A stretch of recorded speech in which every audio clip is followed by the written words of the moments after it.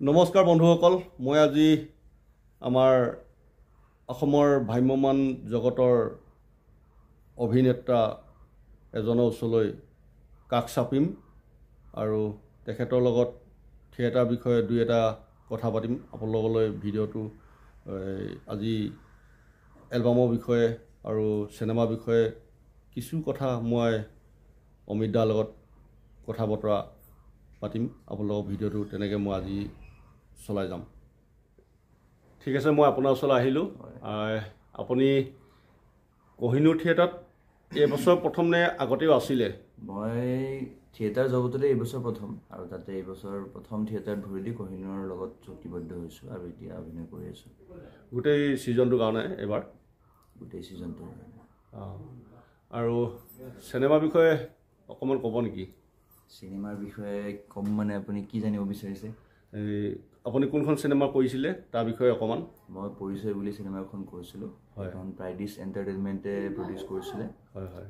আৰু ৰাজীৱ বৰঠাকুৰ দাদাই ডাইৰেকশ্যন দিছিলে। আৰু চিনেমাখনত উৎপল দাস দা তাৰপিছত জুপিতৰা ভূঞাবা অপৰ্ণা দত্ত চৌধুৰী এইসকল এনেকুৱা অভিনেতা অভিনেত্ৰীয়ে অভিনয় কৰিছিলে। হয়। আৰু মই চিনেমাখনৰ কৰাত চিনেমাখনত কৰা অভিনয়ৰ বাবে যিটো চৰিত্ৰত অভিনয় কৰিছিলোঁ অসম ৰাজ্যিক চলোৎসৱ চলচ্চিত্ৰ মহোৎসৱত শ্ৰেষ্ঠ সহ অভিনেতাৰ বঁটাটো পাইছিলোঁ। আচ্ছা আচ্ছা ভাল কথা। ধন্যবাদ। আৰু আপুনি ভৱিষ্যতত এই এই চিনেমা কৰিয়ে থাকিম বুলি ভাবিছে নে আৰু থিয়েটাৰ কৰিম বুলিয়ে ভাবিছে? তাৰ বিষয়ে? কি সুধিব বিচাৰিছে? আপুনি থিয়েটাৰ কৰি থাকিম বুলি ভাবিছে নে বেলেগ আৰু বেলেগ কিবা চিন্তা কৰিছে ভৱিষ্যতত? বেলেগ চিন্তা মানে? কওক। সোধক আপুনি। আপুনি থিয়েটাৰ কৰিয়ে থাকিম বুলি ভাবিছে নে ভৱিষ্যতলৈকে না অন্য বেলেগ কিবা কৰিম বুলি ভাবিছে? মই অভিনয়ৰ লগতে জড়িত হৈ থাকিম। থিয়েটাৰ কৰিম বুলি কথা নাই। এইবছৰ থিয়েটাৰ প্ৰথম কিন্তু অহা বছৰত মই চুক্তিবদ্ধ হোৱা নাই। হয়। আৰু অভিনয়ৰ লগত অভিনয় জগতত যিহেতু আছোঁ টিভিত কাম কৰোঁ মই। মিউজিক ভিডিঅ'জ কৰোঁ মানে টিভি চিৰিয়েলৰ কথা কৈছোঁ। আচ্ছা। চিনেমা আছে ৱেব ছিৰিজ আছে হয়।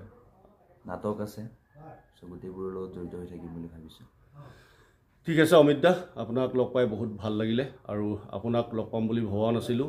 আজি লগ পাই আপোনাৰ কথাখিনি পাই মই নথৈ আনন্দিত আৰু ভৱিষ্যতত আপোনাৰ উজ্জ্বল কামনা কৰি মই ভিডিঅ'টো এইখিনিতে শেষ কৰিছোঁ।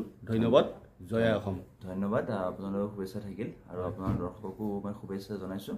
চাই থাকিব তেখেতৰ ভিডিঅ'বোৰ। ধন্যবাদ। ঠিক আছে ধন্যবাদ।